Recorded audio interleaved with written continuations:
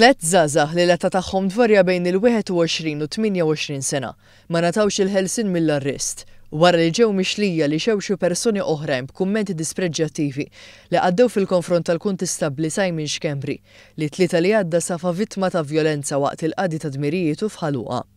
Kemm Kylie Cutajar ta' 21 sena mill-Ħamru, kif ukoll Ritt Mark Borg ta' 28 sena minn Raħal Ġdid, wieġbu mhux ħatja għall-akkużi miġjuba kontrihom, fosthom li għaddew kummenti dispreġġjattivi fil-konfront tal-kuntistabbli tar-Rapid Intevention Unit u li għamlu użu ħażin mill-apparat elettroniku. F'kumment ma' storja li ġiet ippubblikata fuq Facebook, Kylie Cutajar kitbet, Waħda rivers u ejja ħa mmorru.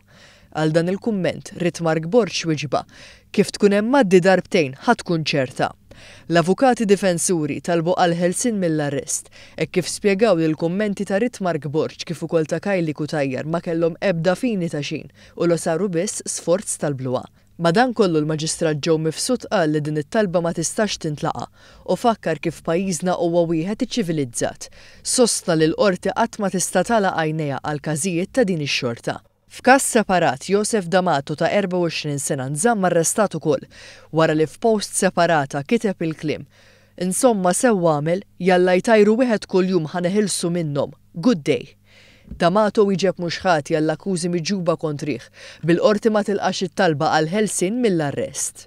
Anqas kienu għaddew ħames sekondi li ż-żagħżugħ ma kien ser joħroġ mill-awla fejn ġie mgħajjat mill-Maġistrat Joe Mifsud.